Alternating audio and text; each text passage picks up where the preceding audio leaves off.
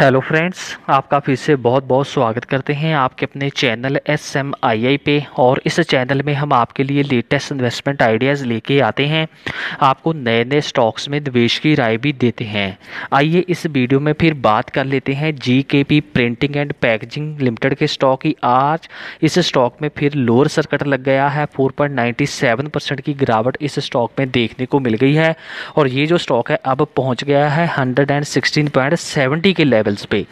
तो पिछले कुछ दिनों से कंटिन्यूसली इसमें लोअर सर्किट लग रहे हैं डाउनफॉल देखने को मिल रहा है। तो आइए इसकी टेक्निकल पोजीशन जान लेते हैं। इसकी मार्केट डेप्थ भी चेक कर लेते हैं, देख लेते हैं कि अब इस स्टॉक में किस तरह की गिरावट देखने को मिलेगी, कौन से सपोर्ट लेवल होंगे और आने वाले टाइम में इस स्टॉक में क्या होगा।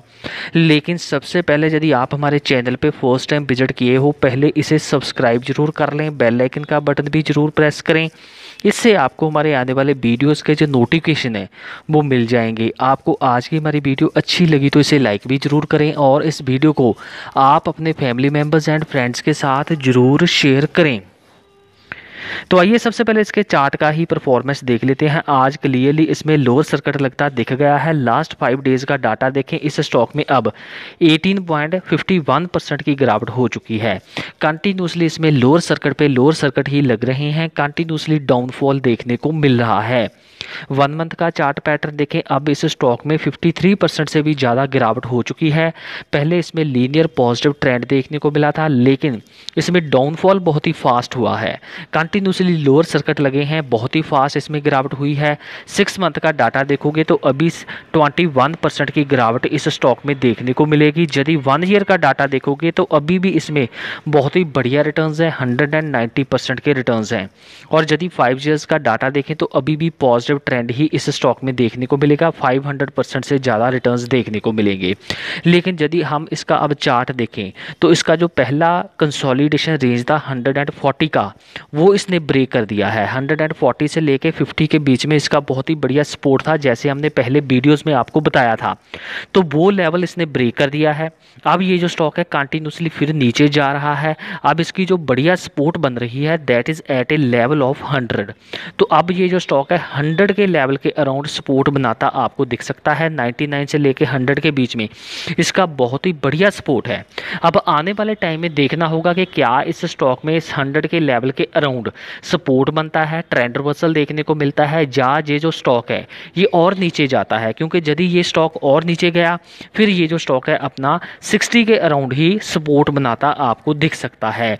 तो अब इसका जो सपोर्ट बन रहा है, वो आप देख सकते हो, हंड्रेड के अराउंड ही बन रहा है। बहुत ही शानदार इसका सपोर्ट जो है, वो आपको बनता दिख सकता है in the level of hundred क्योंकि इसके जो एजीएम है, वो भी फिफ्थ सितंबर को फिक्स की गई है।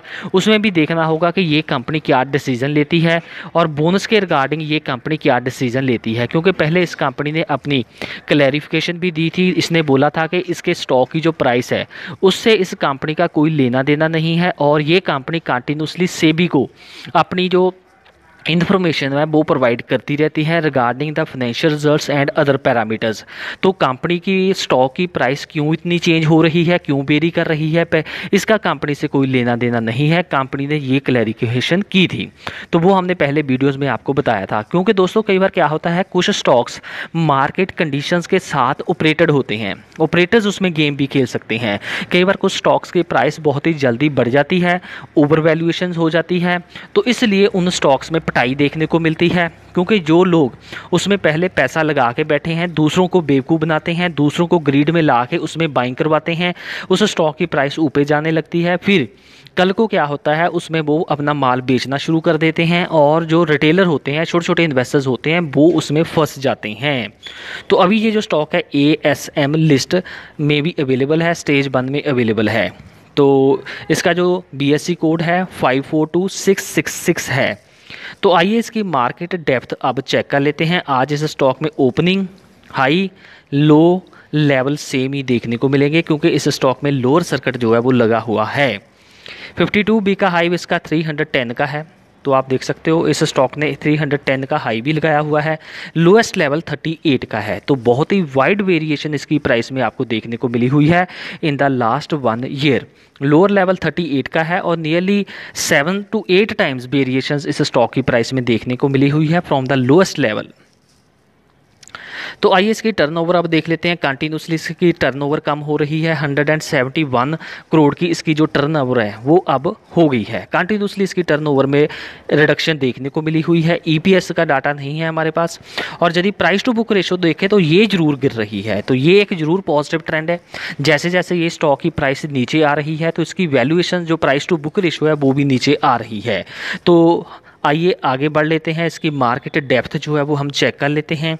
यदि इसकी मार्केट डेप्थ देखें। तो आज इसमें seven lakh fifty nine thousand four hundred ninety eight seller दिख रहे हैं। लेकिन बायर कोई नहीं है। कोई भी बायर इस स्टॉक में नहीं है। इसका मतलब है, इस स्टॉक को कोई भी ख़रीदना नहीं चाह रहा है। इसीलिए इसमें आपको लोअर सर्किट जो है वो लगा दिख रहा है। तो आगे हम इसकी डिलीवरी की पोजीशन भी जानेंगे। देख लेते हैं कि डिलीवरी की पोजीशन अच्छा। डिलीवरी की पोजीशन क्या हो रही है? तो मैं आपको डिलीवरी की पोजीशन भी इसमें दिखा देता हूँ। हंड्रेड परसेंट इसमें डिलीवरी है और जो क्वांटिटी ट्रेडेड है, वो टू थाउज़ेंड है। डिलीवरेबल क्वांटिटी भी टू थाउज़ेंड के अराउंड ही है। तो हंड्रेड परसेंट इस स्टॉक में डिलीवरी जो है, वो देखने को मिली हुई है। जितना माल ख़रीदा जा रहा है तो उतना ही ख़रीदा जा रहा है। तो अच्छा लोगों को बेवकूफ़ बनाया जा रहा है। तो ये ज़रूर आपको नोट कर लेना चाहिए। इस तरह के स्टॉक से आपको दूर रहना चाहिए। हम भी पहले यही कहते हैं कि यदि कोई तेज़ी से स्टॉक भाग रहा है तो ग्रीड में आके उस स्टॉक में इन्वेस्टमेंट ना करें और फंडामेंटली स्ट्रॉन्ग स्टॉक्स में ही इन्वेस्टमेंट करें। आइए इसकी वैल्यूएशन डिफरेंट पीएस के साथ जो है वो कंपेयर कर लेते हैं। तो अभी इसकी प्राइस टू बुक रेशो जो है वो सेवन पॉइंट एटी सिक्स की हो गई है। लेकिन अभी भी जो इसके पीएस हैं, उनके कंपेरेटिवली इसकी वैल्यूएशन बहुत ही हाई हैं। तो अभी और इसमें आपको प्रॉफिट बुकिंग देखने को मिल सकती है।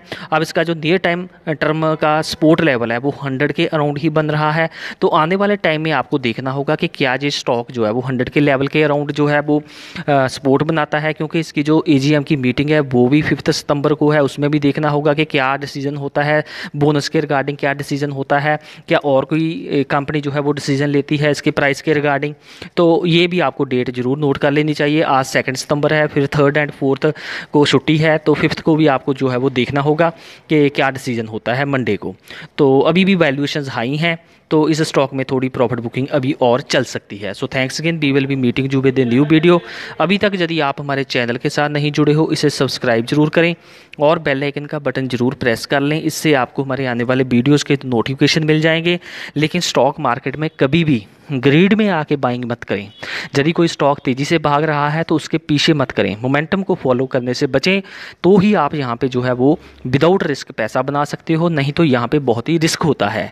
आपका पैसा जो है वो यहाँ पे डूब भी सकता है। So thanks again we will be meeting you with a new video हमारे चैनल को सब्सक्राइब ज़रूर करें और आगे अपने फ्रेंड्स एंड फैमिली मेंबर्स के साथ शेयर भी करें और अपना कमेंट भी हमारे साथ ज़रूर शेयर करें। Thanks again